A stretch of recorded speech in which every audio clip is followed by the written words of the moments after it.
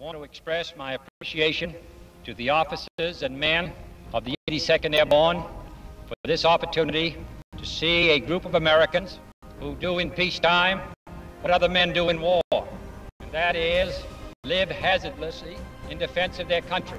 This division, with its long and illustrious history of combat leadership in World War I and World War II, is performing a most vital function.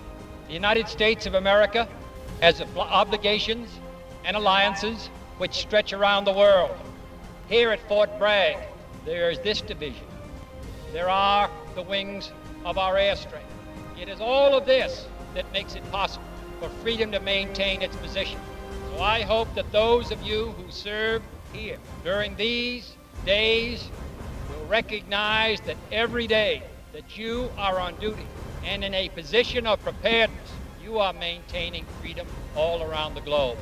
And as an American, I am proud of it.